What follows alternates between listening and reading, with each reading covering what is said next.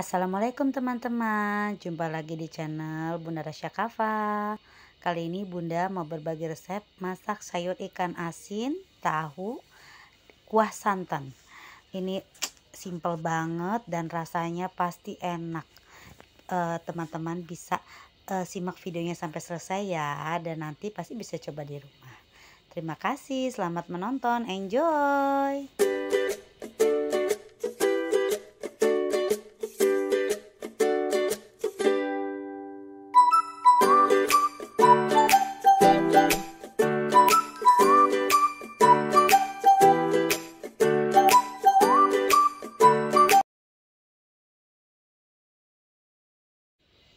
Oke teman-teman, berikut bahan-bahannya Bunda kasih tahu ya.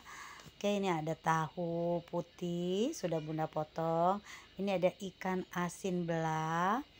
Uh, ini ada bumbu-bumbunya seperti cabe ya, bawang. Ini juga ada satu saset santan instan ya teman-teman.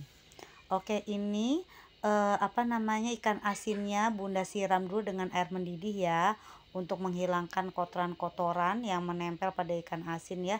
Dan juga biar ikan asinnya tuh tidak terlalu asin mengurangi rasa asinnya ya.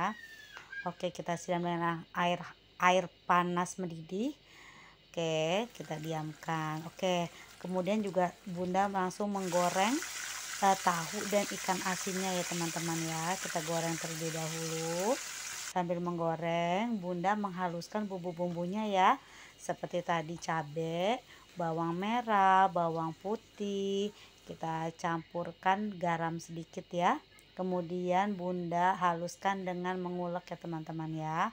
Boleh kalau teman-teman males mengulek bisa dengan blender ya. Oke sesuka kalian aja ya teman-teman.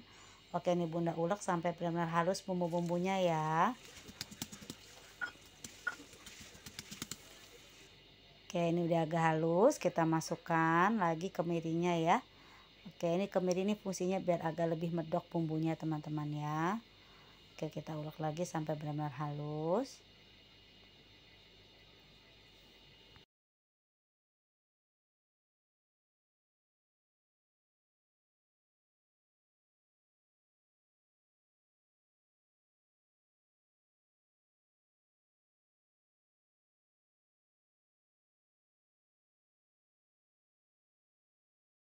Oke, ini bumbunya sudah halus ya teman-teman ya.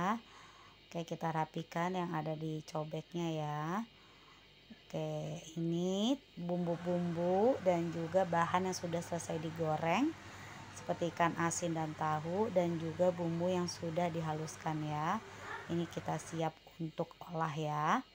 Oke, pertama-tama kita panaskan minyak dan kita tumis bumbu halus tadi sampai harum dan matang ya teman-teman ya. Kalau matang tuh warnanya agak kecoklatan ya. Oke kita aduk-aduk sampai merata. Oke jangan terlalu panas apinya teman-teman biar nggak gampang gosong ya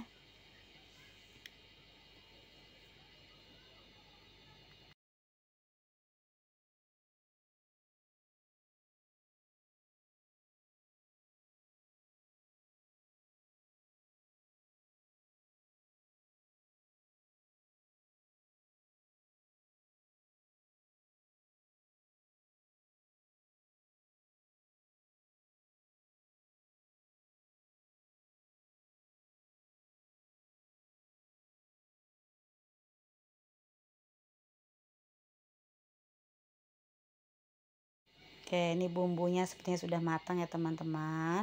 Bunda tambahkan air ya. Oke, biar e, untuk kuahnya ya teman-teman ya. Oke, kita aduk air secukupnya ya.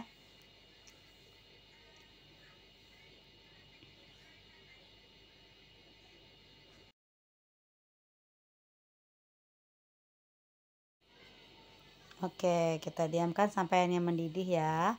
Jika sudah mendidih, kita tuangkan satu saset santan instan tadi ya. Oke, untuk mereknya terserah ya, suka-suka kalian. Kebetulan Bunda ada stoknya Sasa. Boleh Kara atau merek apa pun ya, teman-teman. Oke, ini kita masukkan santan, kemudian kita sambil aduk-aduk ya, teman-teman ya. Oke, biar merata santan dengan air kuahnya tadi ya.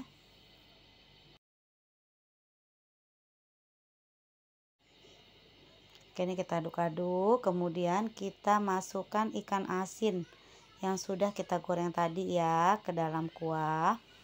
Oke kita masukkan semua ikan asinnya teman-teman. Kemudian nanti kita aduk rata ya.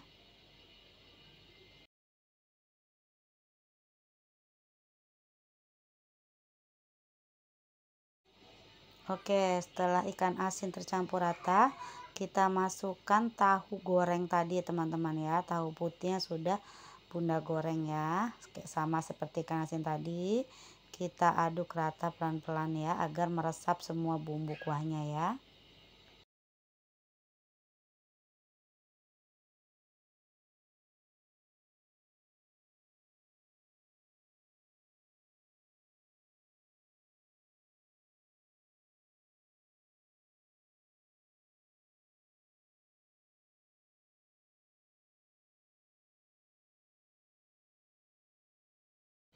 Oke, setelah tahu dan ikan tercampur rata, kita masukkan cabai hijau tadi ya. Oke, dan juga kita masukkan sedikit garam, kurang lebih 1 sendok teh garam, gula dan kaldu bubuk ya teman-teman ya. Oke. Kemudian kita aduk rata semuanya ya ini wanginya udah enak banget tuh teman-teman ya. Wangi ikan asin plus santan gurih banget loh.